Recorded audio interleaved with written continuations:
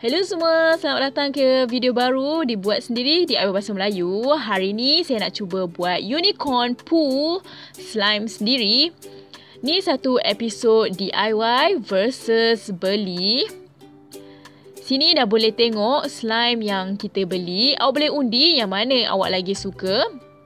Yang beli ke yang buat sendiri. Awak boleh nampak slime ni melekit sikit. Susah nak koyakkan dia. Kena guna banyak tenaga nak koyakkan dia. Tangan saya pun dah penuh glitter. Ni unicorn poo yang pink. Pink berglitter, glitter kecil-kecil.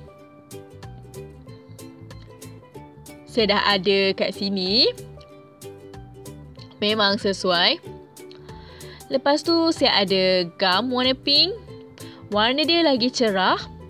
Oh boleh nampak kat sini. Nak tengok kalau glitter ni nanti akan gelapkan warna dia. Dalam ni pun ada glitter besar. Ni jadi asas slime tu. Saya nak letak kat dalam ni. Saya nak biarkan semua keluar dari botol tu. Selain tu, saya akan gunakan bikarbonat dengan air contact lens untuk slime unicorn poo ni. Saya nak cuba keluarkan lagi dari botol ni. Saya harap saya boleh keluarkan semua. Okey, ni je gam yang saya ada.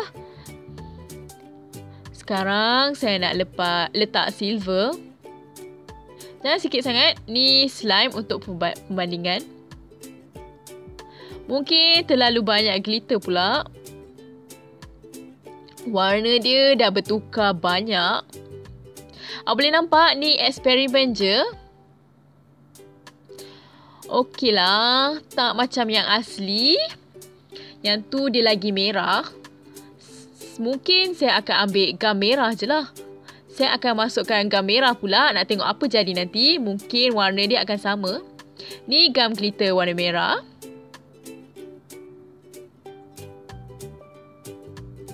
Saya nak letak sikit je. Warna dia jadi gelap sikit. Tambah merah lagi.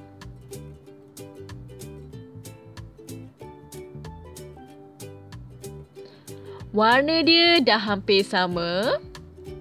Saya rasa sekarang dah cukup merah.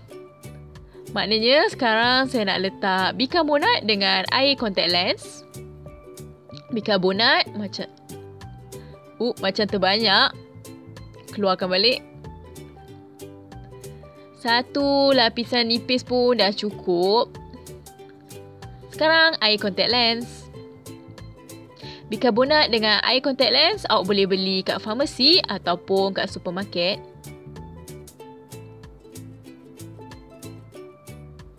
Awak boleh terus nampak perubahan dia. Dia terus jadi slimy dengan padat.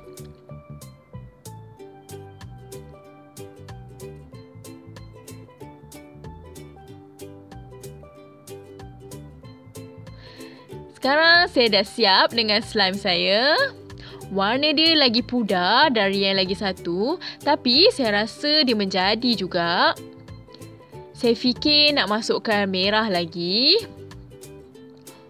Supaya nak bagi warna dia dekat sama. Saya tak ada warna pink dah.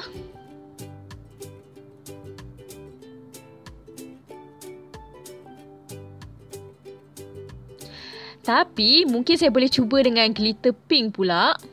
Kalau ikut pengalaman, warna glitter pun boleh warnakan slime.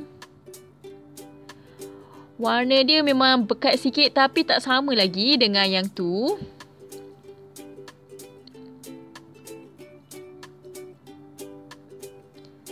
Glitter.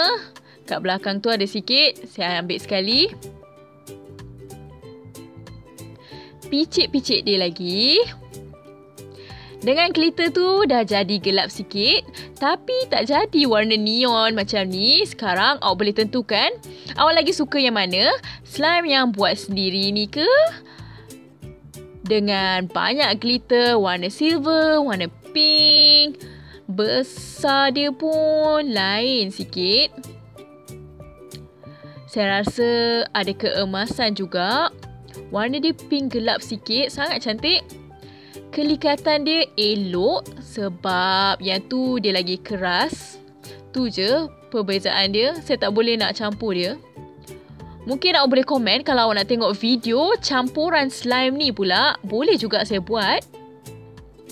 Yang ni dia lagi keras. Lagi neon pink dia. Ada satu jenis glitter je.